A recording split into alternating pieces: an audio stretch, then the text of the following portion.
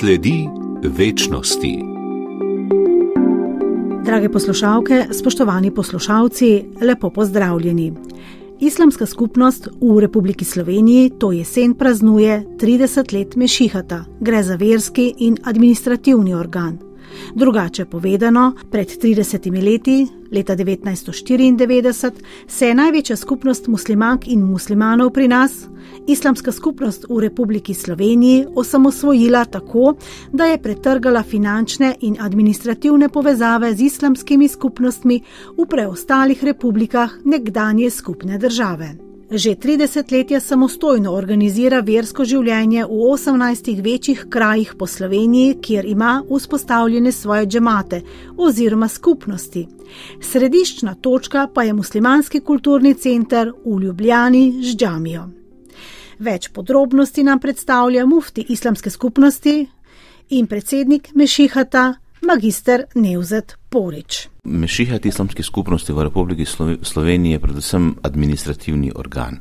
To je podobno kot eh, evo, naprimer, Slovenska škofovska konferenca, v katerem sedi uh, pet uh, članov, mufti je hkrati tudi predsednik Mešihata. Poleg muftija ima še podpredsednika in tri, tri člana. Torej, govorimo predvsem o administrativnem organu, ki je nastal eh, oziroma začel samostojno delovati leta 1994.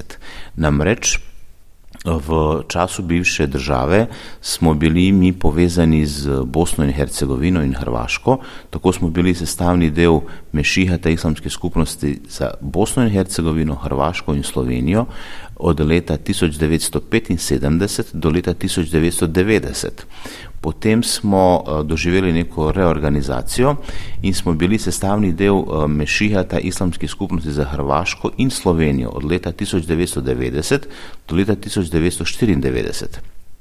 Potem je prišlo do razpada bivše države eh, in seveda Slovenija je postala samostojna država in je bilo logično, da se tudi islamska skupnost začne organizirati samostojno. In mi smo potem leta 1994 se odločili in se dogovorili z našimi brati v, na Hrvaškem, da vsak začne svojo pot samostojno. Tako da letos, eh, torej leta 2024, praznujemo 30. obletnico nekega samostojnega delovanja na področju Republike Slovenije. Seveda pa imamo tudi uh, povezavo z Bosno in Hercegovino še vedno. Uh, ostali smo v Eh, nekim, nekih duhovnih povezavah, če lahko tako rečem. V administrativnem smislu, v finančnem smislu je islamska skupnost v Republiki Sloveniji popolnoma samostojna.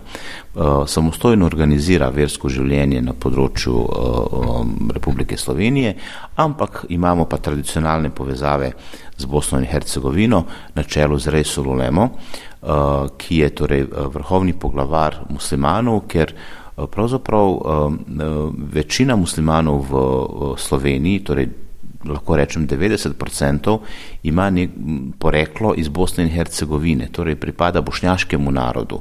Seveda so tukaj tudi brati Albanci, potem uh, muslimani uh, iz Črne Gore, torej Severne Makedonije, Kosova, uh, tudi Srbije, Sanđaka in tako dalje, ampak uh, naš naziv uh, kot islamske skupnosti je islamska skupnost v Republiki Sloveniji, torej nima nobenega nacionalnega preznaka in vsi muslimani so seveda dobrodošli, ne glede kateremu narodu pripadajo. Islamska skupnost, torej po besedah muftija Poriča, ostaja povezana na duhovnem področju z islamsko skupnostjo v Republiki Bosni in Hercegovini. Statut islamske skupnosti v Republiki Sloveniji ureja torej, imenovanje muftija. Uh, Mufti je verska uh, avtoriteta, ki je imenovana uh, v Sarajevu, torej vrhovni poglavar islamske skupnosti Resulu Ulema predlaga ime, ki, je, uh, ki ima torej določene, da rečem, tudi uh, kvalifikacije oziroma izobrazbo za, za uh, položaj muftija. In potem on na podlagi svojega, svoje avtoritete prenese del verskih pristojnosti na to osebo. Tukaj v Sloveniji pa izbiramo predsednika Mešiha, tako administrativnega, torej vodjo skupnosti in potem to združimo v eno osebo, uh, uh, muftija in predsednika Mešihata. In uh, to je predvsem povezava z Bosno in Hercegovino. Torej, da, da črpamo to neko versko avtoriteto iz inštitucije Rejsululeme oziroma islamske skupnosti v Bosni in Hercegovini. Na podlagi tega potem organiziramo tukaj skupnost. Torej, Rejsululema prenese del svojih Eh, da rečemo, evo, verskih eh, obveznosti oziroma pristojnosti na osebo, ki opravlja funkcijo muftija v Sloveniji. Ker v Sloveniji ni verskih, muslimanskih srednjih šol, ne muslimanskih fakultet, islamska skupnost v Republiki Sloveniji pridobiva duhovnike, imame in učiteljice in učitelje veruka iz Bosne in Hercegovine, kar je še ena močna povezava z omenjeno državo. Tako je islamska skupnost v Republiki Sloveniji nima izobraževalnih inštitucij, uh, zato uh, uvažamo, če lahko tako rečem, kader iz Bosne in Hercegovine. Tudi osebno sem uh, se izobraževal v Bosni, uh, torej uh, v Bosni obstajajo srednje šole, medrese, ki so predpogoj za neko imamsko službo. Torej, najprej oseba zaključi srednje izobraževanje, potem se šola na fakulteti za islamske znanosti in na podlagi tega potem dobi, dobi uh, potrdilo, da lahko upravlja imamsko službo. In mi v Sloveniji uh, predvsem zaposlu, zaposlu, zaposlujemo torej, uh, kader iz Bosne in Hercegovine. Torej, ko je nekdo že zaključil študij, potem ga na nek način pripeljemo v Slovenijo, ki tukaj opravlja imamsko delo. In zaradi tega je tudi zelo pomembna povezava z Bosno in Hercegovino oziroma z islamsko skupnostjo v Bosni in Hercegovini, kaj, kaj ti izobraževalne inštitucije so uh, uh, v pristojnosti islamske skupnosti v Bosni in Hercegovini. In zaradi tega je zelo pomembno imeti, imeti to povezavo torej, uh, z njimi, zato ker uh, mi tukaj ne vem, kako bi potem lahko obstali oziroma uh, organizirali versko življenje brez tega kadra. So pa tudi posamezniki, ki so potomci druge ali tretje generacije muslimank in muslimanov, ki iz Slovenije odhajajo na izobraževanje v Bosno in Hercegovino. Kot pravi Mufti Porič, je on tak dober primer. Jaz pravim, da je najboljši primer moj primer osebni, kaj ti uh, zaključiti študij oziroma osnovno šolo v Sloveniji, se naučiti dobro slovensko, potem uh, uh, oditi v Bosno in Hercegovino na študij uh, in se vrniti v Slovenijo uh, in tukaj delati. Torej, takrat daješ najboljše plodove, uh, ker poznaš tukajšno uh, kulturo, navade uh, in jezik predvsem in potem lahko, lahko opravljaš kvalitetno svoje delo.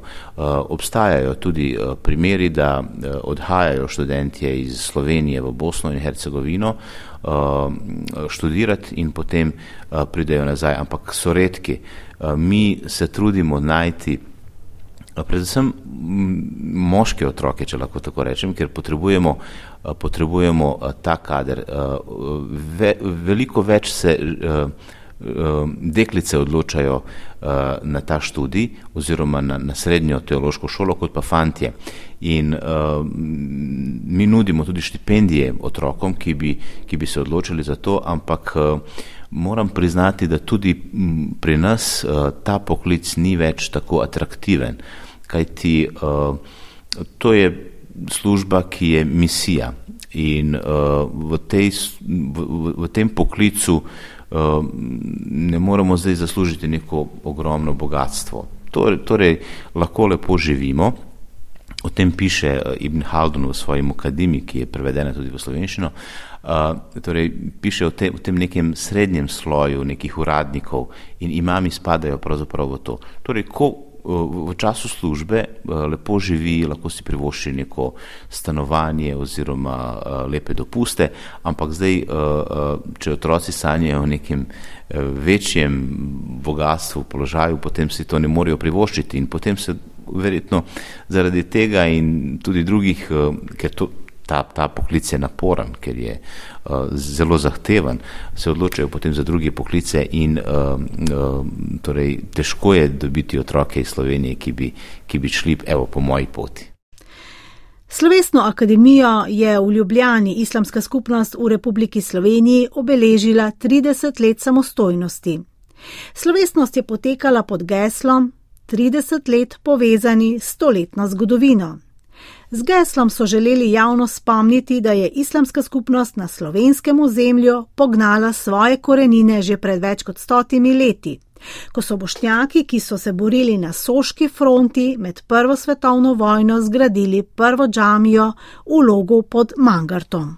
Ja, 30. obletnica je evo, neka prelomnica, da se malo ustavimo, se ozremo nazaj, pogledamo, kaj smo storili v preteklih 30 letih, da se spomnimo tudi ljudi, ki so prispevali k razvoju Mešihata oziroma na splošno islamske skupnosti v Republiki Sloveniji. To je bil predvsem prvi predsednik Mešihata, gospod Muris Hadžibaš Čavševič, ki je že starejši gospod, ki je zaključil svoje delo, uživa v penzionu. Uh, potem uh, Ibrahim Malanovič, dolgoletni imam v Mariboru in seveda uh, moj predhodnik uh, mufti dr. Nežet Grabus, ki je bil najdaljše obdobje na čelu islamske skupnosti, okrog 15 let in bomo uh, torej, s tem smo na nek način uh, se spomnili teh ljudi, dali jim priznanje in seveda prisotnost predsednice Republike Slovenije, doktorice Nataše Pirc-Musar, nam je dala, dalo nek, da rečem, zagon oziroma pokazala je svoje spoštovanje tudi do drugačnosti, do, do uh, druge m, po velikosti verske skupnosti v Republiki Sloveniji in je na ta način torej pokazala, da spoštuje, spoštuje tudi uh, to ogromno število ljudi in je pokazala, da je predsednica za vse, ki živimo v Republiki Sloveniji. Jaz sem hvaležen, da je bila ona z nami. Slovesnosti so se udeležili muslimanski verski voditelji iz Balkana, pa tudi visoki verski dostojanstveniki največjih tradicionalnih verskih skupnosti iz Slovenije. Bili so prisotni vsi muftiji iz Bosne in Hercegovine, muftiji iz Hrvaške in Srbije eh, in smo imeli tudi eh, prvič v, evo, v zgodovini, odkar islamska skupnost uh, funkcionira tukaj oziroma deluje, smo imeli sve, sejo sveta muftijev, na kateri smo razpravljali o določenih eh, vprašanjih, tako da smo uh, gostili vse te ljudi, ki so svojim prihodom pokazali tudi uh, na nek način spoštovanje do našega mešiha, ta islamske skupnosti, do, do muslimanov v Sloveniji in smo skupaj torej preživeli te slavnostne trenutke. Res ulema, Eh, dr. Eh, Husein Kavazovič je tudi vodil molitev v petek 18. Eh, oktobra, tako da, je, da smo bili vsi veseli, da ga lahko gostimo in da ga slišimo, torej, da, da slišimo njegovo pridigo, ki jo je imel v petek na petkovi molitvi, tako da smo zelo veseli, da smo uspeli vse to organizirati in na nek način povezati s to 30. obletnico, ki je zelo pomembna za nas. Po oceni islamske skupnosti pri nas živi od 100 do 150 tisoč muslimank in muslimanov. Po podatkih muftija Poriča 8 tisoč družin podpira skupnost, veruk obiskuje 3200 otrok, duhovno oskrbo jim zagotavlja 22 imamov, duhovnikov in veruk poučuje 6 učiteljic.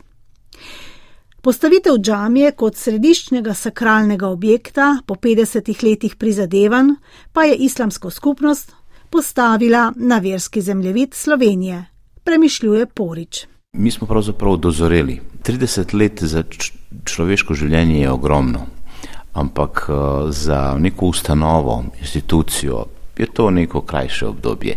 Ampak mi kot ljudje smo v teh 30 letih dozoreli in tudi skupnost je na nek način dozorela, postala je polnoletna, začela, je, uh, začela se ukvarjati z nekimi uh, projekti, ki so uh, zelo pomembni za njeno delovanje oziroma za njene člane.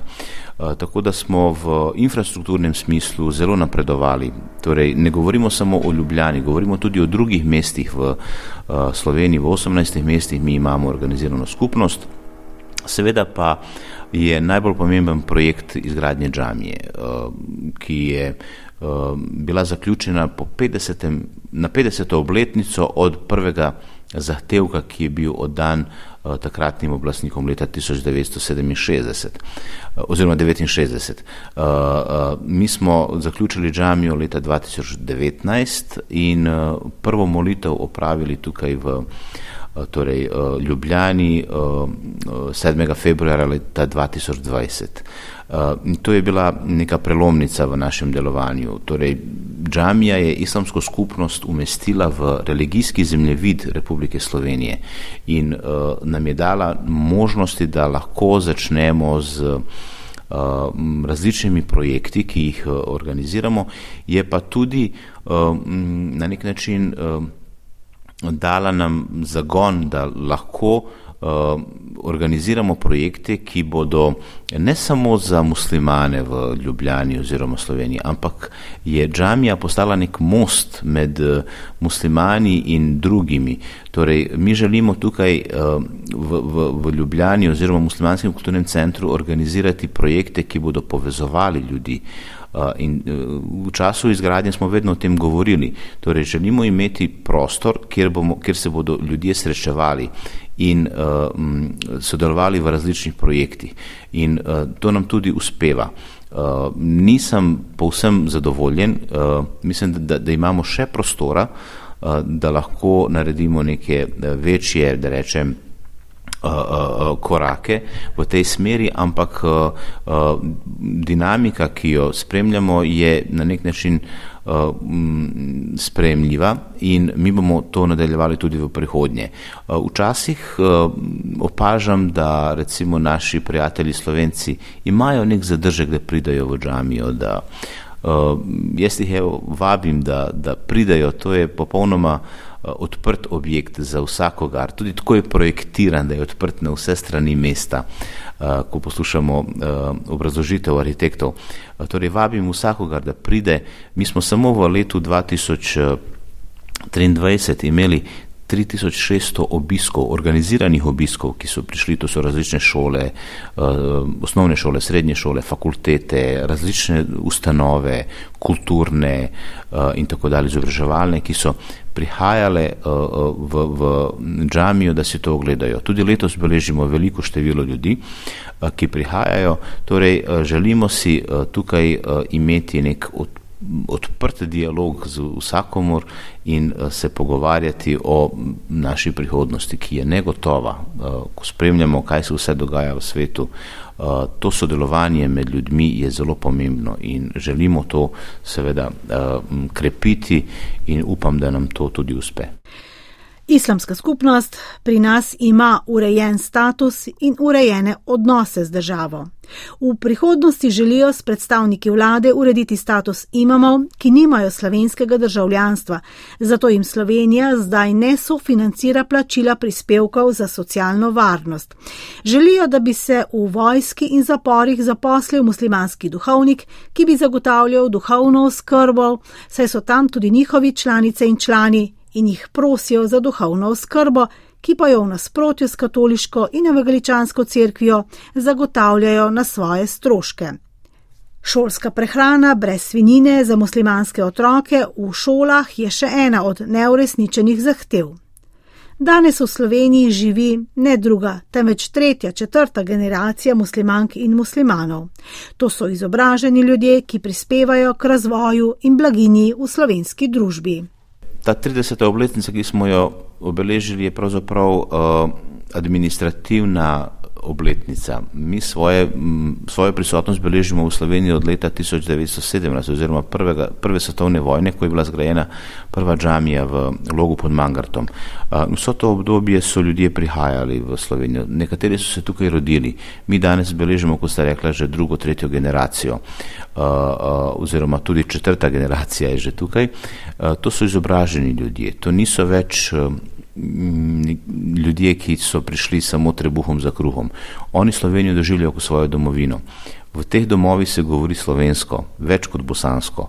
Uh, seveda mi spodbujamo ljudi, da ne pozabljajo uh, uh, tudi svojih korenin oziroma svoje uh, identitete, ampak uh, tako pač je, da, da, da govorimo tudi, jaz osebno se včasih uh, ulovim, da s svojimi otroci govorim slovensko, svojo soprogo in tako dalje. To so ljudje, ki Slovenijo doživljajo kot svoj dom, slovenščino kot svoj prvi jezik in torej lahko rečemo, to so pravi slovenci, samo da, da mogoče imajo neke, neke drugačne korenine. Ampak vsi mi, ki tukaj živimo, Slovenijo doživljamo kot nekaj najlepšega, kar se nam je lahko zgodilo. To je lepa država, to, to, to, je, to je prekrasna. Da rečem, prekrasno življenje tukaj, ki, ki ga živimo, in uh, mi bomo seveda nadaljevali z, uh, z nekimi pozitivnimi trendi. Pred desetimi dnevi smo natisnili Il Mihal, to je veroučni učbenik, torej dvojezično. Bosansko in slovensko, zato ker uh, otroci, ki so uh, pri verouku, lažje razumejo, bolje razumejo slovenščino kot pa bosanščino. Uh, in zaradi tega smo tiskali dvojezični uh, veroučni uh, učbenik, uh, številka ena, v pripravi je številka dve, zato ker želimo otrokom olajšati. Olajšati in uh, verouk, ki ga izvajamo za prvo triado, je vedno v slovenščini. Zato ker ti otroci slabo razumejo bosansko. Uh, imamo sedaj tudi trend, da k našem veruku prihajajo otroci, ki so iz nekih drugih, uh, da rečem, držav, kot so um, Egipt, um, Maroko oziroma Turčija in tako dalje, ki z bosanskim jezikom nimajo nobene povezave. In oni uh, govorijo slovensko, ker hodijo v slovensko šolo in je zelo pomembno, da tudi njim uh, predavamo v slovenščini. Tako da uh, mi se bomo trudili v naslednjih letih, da vsaj uh, vsako leto vsaj dva naslova tiskamo. Torej, v pripravi je tudi uh, življenje pis našega poslanca Muhameda, uh, ki smo ga že prevedli in beremo, uh, beremo ta prevod. Uh, upam, da bo v začetku naslednjega leta že natisnjen. Uh, to je uh, eden najboljših življenjepisov, ki je bil tiskan v zahodnih državah. Uh, avtorja Martina Linksa, ki je pred kakšnimi 40 leti konvertiral v islam in pripravil to knjigo. Tako da uh, bomo to tiskali in na ta način torej prispevali uh, v slovenski evo, javnosti, družbi uh, k boljšemu razumevanju islama in muslimanov. Uh, poleg tega bomo delali tudi uh, na drugih področjih, torej da da uh, mi tiskamo literaturo, bo, za katero bomo mi stali uh, in ki bo avtentična, torej avtentična literatura o islamu in muslimanih v Sloveniji. To je zelo pomembno. In še en velik projekt na področju prevodov je pred islamsko skupnostjo. Prevod svete knjige Koran v slovenščino, ki ga bo islamska skupnost v Republiki Sloveniji priznala kot avtentičnega, pove naš sogovornik V tokratni oddaji sledi večnosti njen mufti, magistr Neuzet Porič. Tokratno oddajo sledi večnosti sem pripravila Nataša Lang. Oddaja se zdaj seli na spletno stran našega programa, najdete jo tudi med podcasti.